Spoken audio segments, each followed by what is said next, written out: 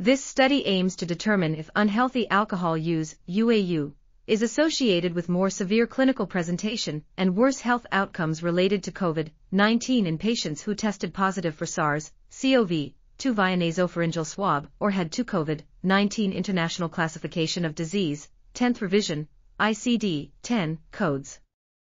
The study used a digital machine learning classifier on electronic health records to identify patients with UAU, and then performed a multivariable regression to examine the relationship between UAU and COVID-19 severity as measured by hospital care level.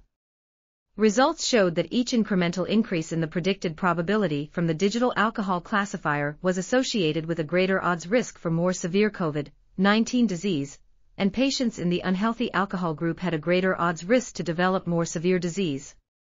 The study concluded that UAU is an independent risk factor associated with greater disease severity and or death in patients infected with SARS-CoV-2.